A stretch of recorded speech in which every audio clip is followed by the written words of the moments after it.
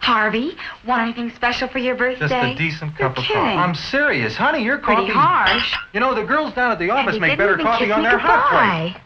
You know, if I oh, could just make a decent Why cup don't you of try coffee, I could relax. Tastes good as fresh perk. I'll surprise Harvey for his birthday Hey, tonight. great coffee. It's instant Folgers. Doesn't it taste good as fresh perk? Better than those girls make it. Honey, their Instant coffee Folgers hold good as fresh perk.